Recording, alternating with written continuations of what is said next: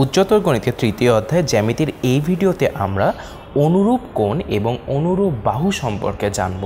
অনুরূপ বাহু এবং অনুরূপ কোণের এই ধারণাটা আমার আমাদের পরবর্তীতে আমরা যেই উপপাদ্যগুলো এই অধ্যায়ে পড়ব, সেই প্রত্যেকটি উপপাদ্যে এই দুটি ধারণা তোমাদের বারবার লাগবে। এজন্য এই দুটি ধারণার ব্যাপারে তোমাদের স্পষ্ট, একদম ক্লিয়ার কনসেপ্ট থাকতে হবে।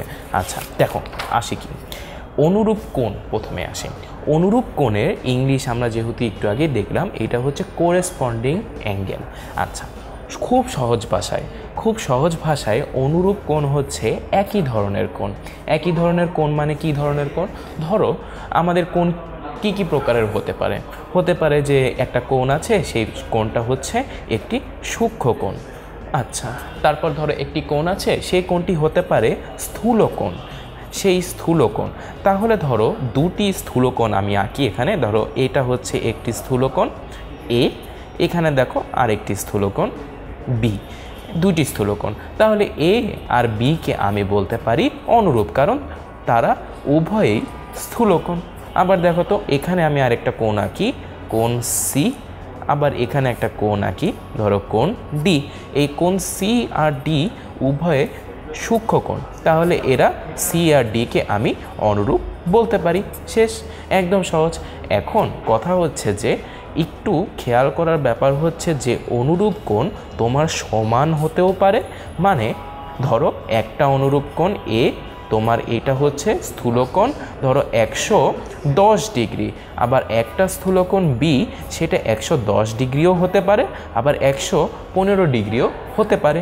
তাহলে এরা সমান হতেও পারে, আবার সমান নাও হতে পারে।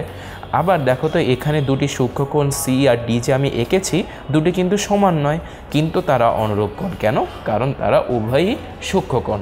তাই তোমার অনুরূপ কোণ হচ্ছে তোমার সমান হতেও পারে কিংবা সমান নাও হতে পারে। কিন্তু সেই কোণগুলো অনুরূপ হতে হলে অবশ্যই একই ধরনের হতে হবে। এখন ধরো, চিন্তা করো, একটা কোণ এম সেটা হচ্ছে একটি স্থূল কোণ। আর আরেকটা কোণ এন এটা হচ্ছে একটি সূক্ষ্মকোণ এরা কি একে অন্যের অনুরূপ হবে? না, অবশ্যই না। কারণ এরা একই ধরনের কোণ না। আচ্ছা এখন অনুরূপ কোণ যদি তোমরা বুঝে থাকো, অনুরূপ কোণ থেকে আসবে অনুরূপ বাহুর ধারণা। অনুরূপ বাহু সম্পর্কে যদি তোমরা এখন দেখতে চাও, তাহলে আমাদের একটি, ধরো যে কোনো ত্রিভুজ বা চতুর্ভুজ অঙ্কন করতে হবে। কারণ ত্রিভুজ বা চতুর্ভুজ ছাড়া তো আমরা বাহু পাবো না। তাই বাহুর জন্য ধরো আমি একটি ত্রিভুজই অঙ্কন করি। ধরো এখানে আমি একটা সুস্থূলকোণী ত্রিভুজ, এ বি সি অঙ্কন করলাম, যেখানে এই কোণ এ সি বিটা হচ্ছে আমার একটি স্থূল কোণ।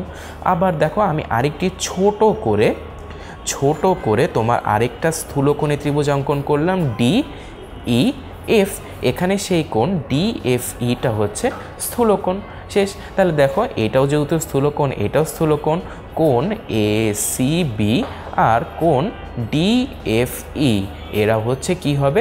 অনুরূপ কোণ, তাই না? অনুরূপ কোণ। এখন অনুরূপ বাহুর ধারণাটা আসবে অনুরূপ কোণ থেকে।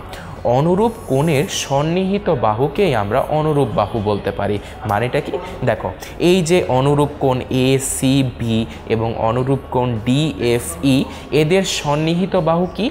এদের সন্নিহিত বাহু হচ্ছে, দেখো, কোণ এ সি বি এর সন্নিহিত বাহু হচ্ছে এসি আর বিসি আর আচ্ছা আমি এটা নিচে লিখলাম এসি আর বিসি আর কোন ডিএফই ই এর সন্নিহিত বাহু হচ্ছে ডিএফ আর ইএফ তাহলে দেখো তো, আমরা বলেছি যে তোমার অনুরূপ কোণের সন্নিহিত বাহুকেই অনুরূপ বাহু বলে। মানে দেখো তো, এই যে আমার তোমার হচ্ছে স্থূলকোণ দুইটা।